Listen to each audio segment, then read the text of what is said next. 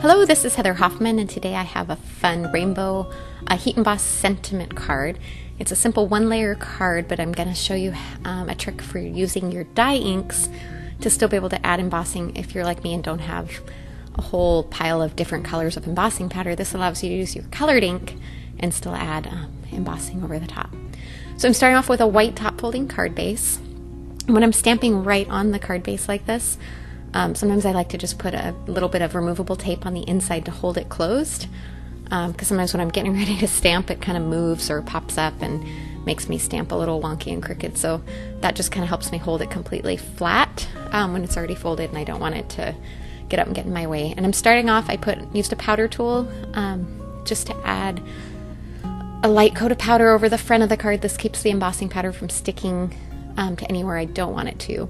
And what I'm doing first is I'm going to ink up my stamp. I'm using uh, Thanks Above and Beyond, the April 2015 Sentiment Kit. I'm inking it up with clear embossing ink, then stamping into my colored ink. Um, that way it adds the color, but I'm also getting the embossing ink on there too, and that's what's going to allow the embossing powder to stick. This is actually a technique um, quite a few years ago I remember seeing Jennifer McGuire do. And what I like to do when I'm doing a bunch of different ones like this is I like to start with my center because that that way I make sure and line them up where I want so I don't end up crooked again on my um, my stamped card front. So I started with my center color, which is my green, and I'm just building out from there. I stamp the one above, and then I'm going to stamp the one below it, and I'll stamp all of these at once before I try and add my embossing powder. Um, but again, each time I ink up my stamp, I'm stamping it, inking it really good with the clear embossing ink, then stamping it into my dye ink to ink it up, and then stamping my image. Um, this also helps you get a really clear, crisp image. Something about the embossing ink um, really coats the stamp well and helps it grab the dye ink nicely. Um, and then make sure and clean your stamp off between colors, otherwise, you're going to end up with a rainbow of different colors, which, um, unless that's what you're trying to do, probably isn't going to be where you want to end up. I'm going to stamp my last color there, which is the purple.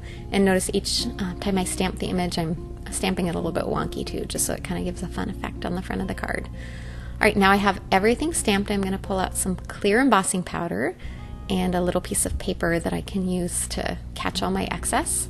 I just like to use a simple 8.5 by 11 piece of paper folded in half. There's a lot of different things you can use, but that works really well for me. And if I fold it half in the middle, it gives a nice crease to put the extra embossing powder back into my container when I'm done. So make sure and sprinkle a good coat on there. Look for any little spots you missed. Tap it lightly to get the extra off.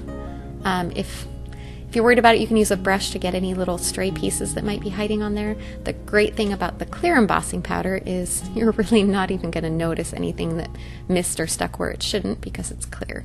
Now to keep from warping the front of my card base, um, use a good quality heat gun and I also, notice how I kind of tested the heat on my hand. I like to do that so that I know that it's hot enough. Um, if you put it on sooner, it's going to take longer to melt the embossing powder and more chance of warping your cardstock. So I like to preheat it a little and just kind of test it on my hand or on my leg or something. And when I feel that it's gotten really good and hot, don't put it too close, but if you keep it far enough away just to be able to feel when it's gotten warm. And then only use the heat tool um, as long as you need to just to melt the embossing powder.